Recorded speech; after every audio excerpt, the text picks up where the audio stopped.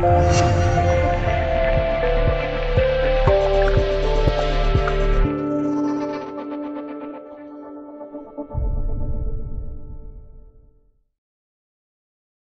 标题：美媒，俄罗斯对华出售多项关键技术，换取中方为其维修唯一航母俄罗斯海军库兹涅佐夫号航母返回本土后，虽然普京亲自为相关人员授勋，但几乎所有人都可以看出，这只是一种激励士气的手段，掩盖俄罗斯海军日薄西山的境地。库兹涅佐夫号的中东之行，除了那滚滚黑烟外，包括先服役的米格二十九 KR 损失了五架舰载机，至于其打击的地面目标，远比不上驻叙俄空军。至于一路往返威士北约，更是谈不上。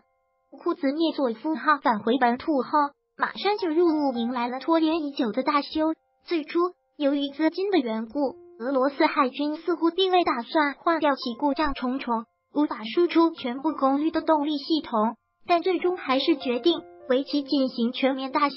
并进行一定程度上的升级。但随着那起事故，不仅全俄唯一一艘能够修理航母的浮船坞沉没，航母本身也受损严重。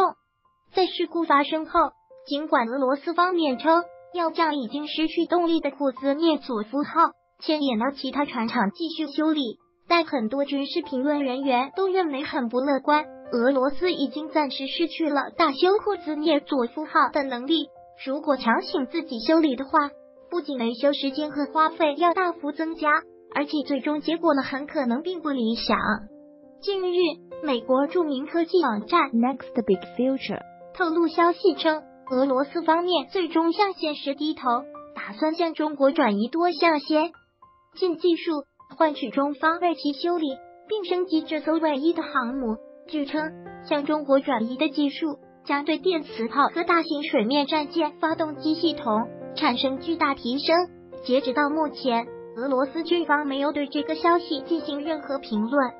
能够为俄罗斯维修并升级库兹涅佐夫号的国家并不对，美国、英国和法国几乎不用想。待高乐号大修即将完成，尽管此前俄罗斯已经从中国进口军用级别芯片和光学玻璃等。但进行如此大规模的逆向输出，这还是第一次。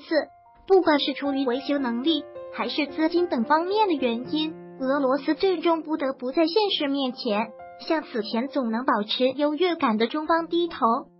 更尴尬的是，Next Big Future 还特别提醒，如果俄罗斯不再建造新的浮船坞，那么海军的所有大型水面战舰，包括基洛夫和光荣级巡洋舰。都得依靠中国才能维修升级。